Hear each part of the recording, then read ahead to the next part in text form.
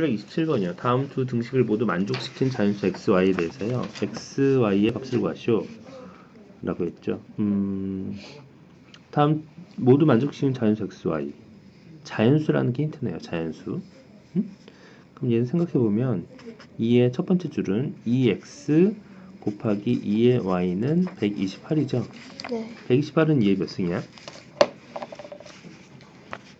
잠시만요. 뭐 알고 있는 것 중에 64를 알 수 있지 않을까? 64는 88이 64잖아. 5는 아니에요.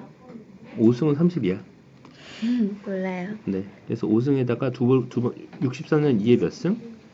88에 64니까 2에 8. 네? 6승이죠. 88에 64는 2에 3승 더하기 2에 3승. 아, 네. 그래서 여기다 2를 곱한 거니까 얘는 2에 7승 이렇게 표시할 수 있다.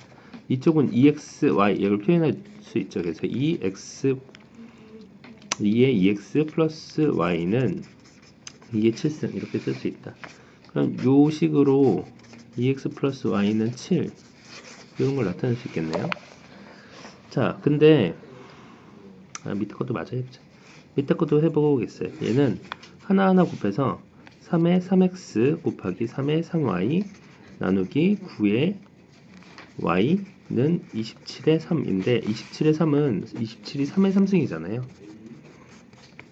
그러니까 3의 9승 이렇게 쓸 수 있고요. 9y는 음, 네, y. 3분의 3의 2y라고 쓸 수 있겠죠? 그래서 얘는 어떻게 돼? 3의 3x 플러스 3y 빼기 2y 이렇게 쓸 수 있지. 나누기는 빼기로 계산하는 거니까. 음, 그 다음에 얘는 3의 9 이렇게 된다. 그럼 얘 계산하면 3x 플러스 y는 9 이런 식이 나오네요. 앞에 처음에 나왔던 2x 플러스 y는 7 그러니까 얘를 이렇게 서로 이렇게 빼주면 x는, x는 2 이렇게 나오지 y는 y는 3 3. 6. 6